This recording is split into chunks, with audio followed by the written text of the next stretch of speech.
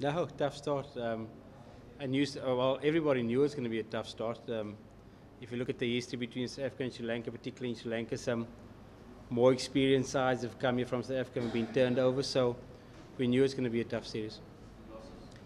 Yeah, look, there, there- there's no doubt Sri Lanka better side than us under these conditions. Um, they've outplayed us in every department in the field with the bat and with the ball, so I suppose 4-1 at the end of the day does show the gulf between the two sides, which is a bit of massive concern for us. Um, South Africans pride ourselves in our performances in South Africa and away from South Africa, so it's a, it's a massive concern that the gulf was that great between the two sides.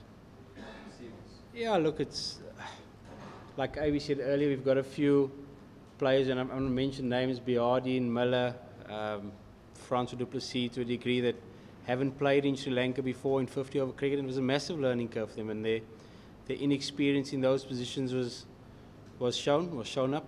Um, so those are things we need to consider on future tours to the subcontinent, is making sure we have the right personnel in those particular positions, because those are massive positions in, in these conditions. But hopefully those players have learned a great lesson from, from this experience, and, and hopefully will put them in good stead going forward.